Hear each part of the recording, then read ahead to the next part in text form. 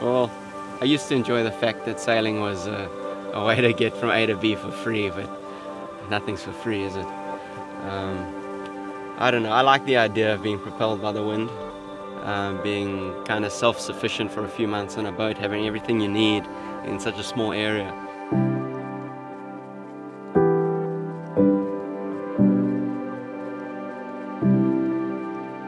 My name is Daniel Edwards and I'm the captain of sailing yacht Luna Moon in Madagascar.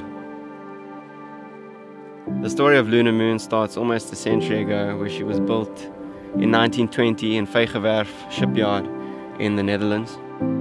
She was built as a pilot vessel used to pilot boats from France and Netherlands across the English Channel to England. Then at the start of the Second World War she was sunk by the owner on purpose so that she couldn't fall into the wrong hands and be used in the war.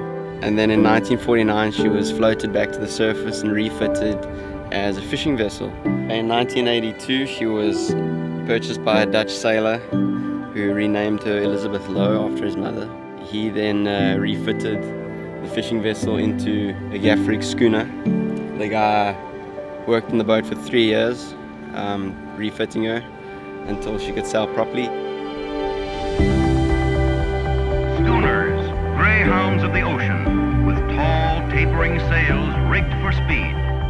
After that she was bought by a company in the Seychelles and used as a luxury charter vessel. In 2019 she was bought by a South African businessman, ecologist uh, in the Seychelles and she was delivered to Nosy Be in Madagascar where she is going to be used for a sail training academy and for surf charters in the south of Madagascar. It takes skill and work to sail, but as long as there's wind to blow and water to cross, and people have just a little time to spare, the thrill of sailing won't be forgotten. It's, it's beautiful. For me, it's always been my favorite rig the gaff rig schooner or gaff rig ketch. I just think it's classic, it's traditional, it sails really well, incredibly well. It takes a lot of hands to, to run a boat like this, but for me, the traditional classic style of, of sail yacht is, is by far the best.